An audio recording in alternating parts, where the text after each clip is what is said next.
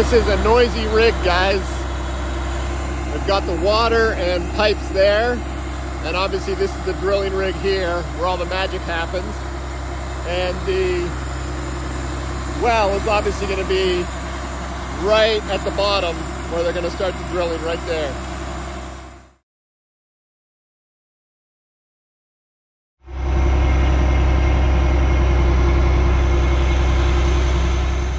Hey everyone, I hope you're well. I do not know a lot about the technical aspects of drilling, well drilling, but I'll try to share with you what I learned the day that the crew showed up to put in my well.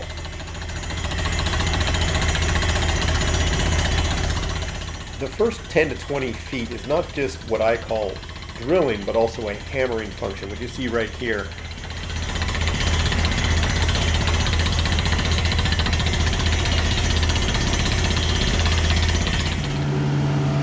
Pipes come in 20 foot lengths. They're stored on this other truck and they bring them over when they need them. This well required 10 of these pipes, so we're talking around 200 feet.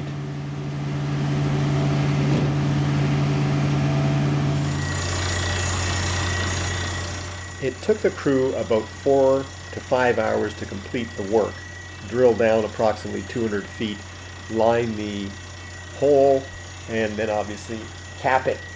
What they're doing here is they're removing some of the slurry that's coming up from the hole as they're drilling down. The water that you see here is from their water truck. This is not water coming out of the well at this point or coming from the aquifer down below. And here's an example of how good these guys were. He walks over here to tell me what's going on. Unfortunately, the truck is so loud that you can't hear anything that he says to me here.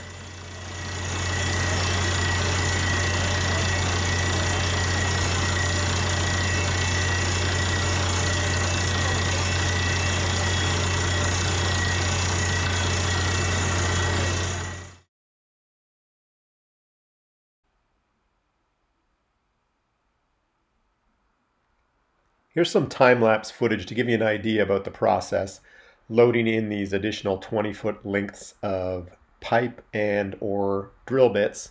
I'm not sure which is which, but that's happening at the same time.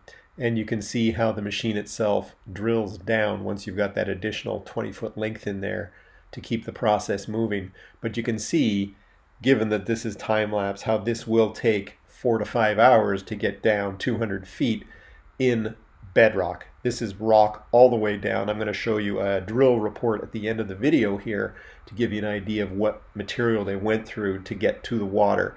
But there's no sand, there's no clay, there's no soft materials. This is all bedrock all the way down. And again, you can see them bringing in these additional 20 foot lengths, get them ready, and then put them in place to go down an additional 20 feet each time they load one of those in there.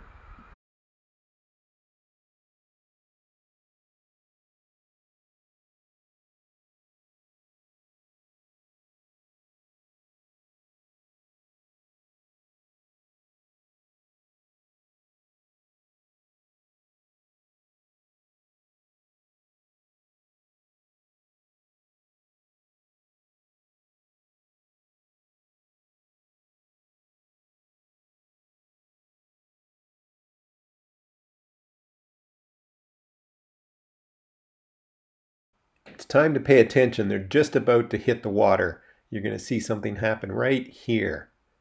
You see all that brown water shoot out? And then all that additional water right there? That's when they hit the water. Let's slow that down and have a look at it in slow-mo. There appears to be an initial burst of dirty water. That makes sense. Blasting up, clearing more dirt out of the way. It stops. He adjusts the equipment and then boom, a big flow of water coming out with the flow of water, the little berm gets breached here and he jumps to it, fixes it to keep that flow going out into the field there. No dramatic 40 foot gusher skywards like you see in some of the Hollywood movies, but a nice gush of clear water. It's actually clear water, even though there's a lot of slurry in there, but it's fresh, clear water coming up now They went down an additional 20 feet past the point where they actually hit the water. I'm not 100% sure why they do that, but obviously they want to be the, below the point where they hit the water, probably due to pressure and a continual flow issue. Here, one of the gentlemen leaves, goes to get me because I'm up at the shop at this time, and then I come down to see that they've hit the water now. I left my camera in place, but I was up in the shop doing some stuff.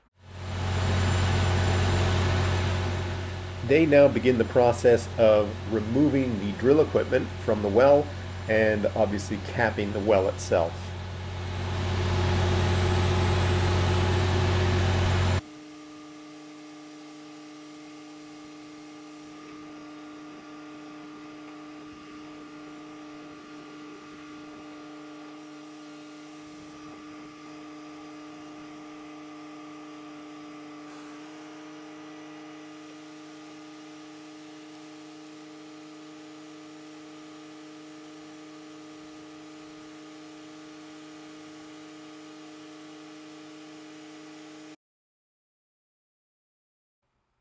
If you live in Eastern Ontario and you need a well, I would definitely give Splash Well Drilling. Again, they're out of Prescott, Ontario. I'd give them a call. They have the equipment, they know what they're doing, they enjoy what they're doing, and that's what came across to me, and they do a very good job. So, again, I give them a uh, big thumbs up.